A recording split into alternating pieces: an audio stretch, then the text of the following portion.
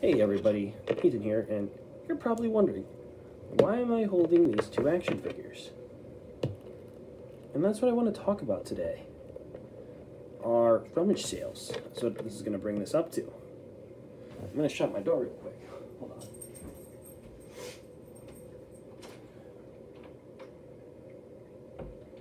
So rummage sales are just people, you know, is selling their toys and stuff. And I found one on Marketplace today. And they had Star Wars and G.I. Joe stuff, Mega Bloks, all stuff I like to collect. And I found these two figures today for this one I got for five bucks.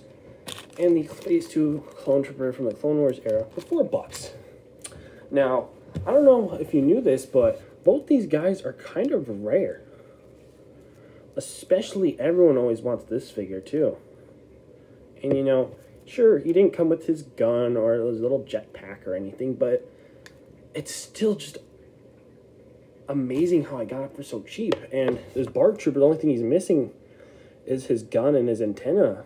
But it came with this gun right here, a little pulse can. Ah, what the heck are these things called? Ion cannons. There we go. That's what he came with. And they were so cheap, I had to buy them. You know, total of nine bucks to spend on these guys. Isn't that a steal or what? And you know, that's kind of today's topic is going to be Lego or just action figures. I actually saw this figure right here for $5 in Lego. I didn't pick it up because I have a couple of them. Yeah, so it's really interesting what you can find there at rummage sales. So that's kind of what I want to talk about are good rummage sales and bad rummage sales.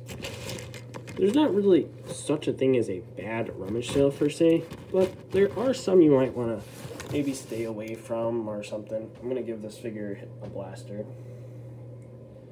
while talking. And there's some stuff you might just not want to go to. Like, if there's a place selling car stuff and hmm, trying to clone trooper action figure build or something like that, that's not going to be the right place for you to go. But a place with like toys in it or something, then yeah, you always go check them out if you see some toys in the yard or something. This one was just a toy sale I found on Marketplace, which is a really good spot to find toy sales, I think. So that's what I would recommend going on. That's how I found this one. And it was like a 40 minute drive or so from my house, which isn't that bad honestly. That's kind of a nice drive, you know. It gets me out of the house too, so something just kind of nice to think about. And you all know me, I love Clone Troopers so a lot, so you know, I had to get this set of figurines. There's a bunch of other Clone Troopers there too. There was a Echo without his helmet or anything. I did not buy that. I already have two Echo molds. I don't have, and that one didn't have a fixed helmet. Otherwise, I would have bought it because the one I bought was just a little off. So hold this blaster. So different one. This one might be better, maybe. Yeah, this might be better.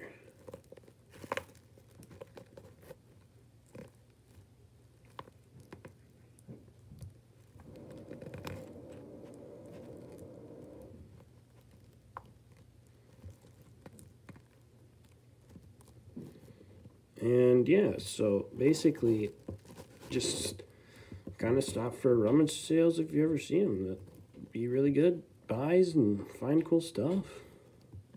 You never know what you're gonna find at those. It's kind of what I like about that.